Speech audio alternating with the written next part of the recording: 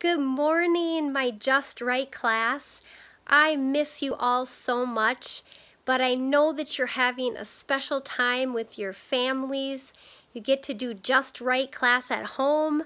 So I want to just encourage you to keep doing your workbooks and your journal writing.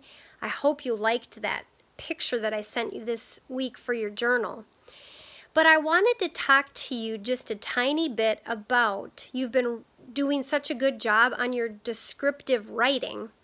And this week, you're going to be doing um, chapter six, which looks like this, and you're you're going to be continuing to tell even more in your stories.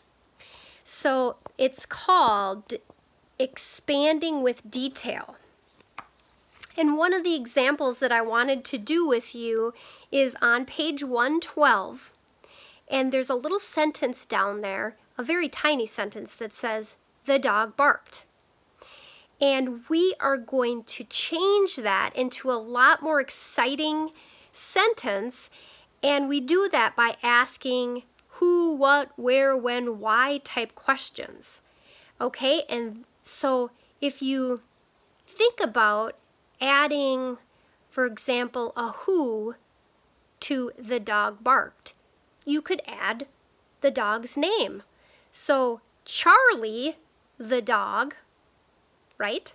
You added his name. Or you could add what.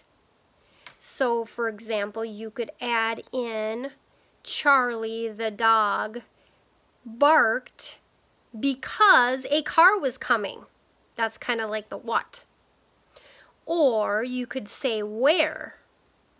So you could say Charlie the dog was in his kennel and he started to bark because there was a car.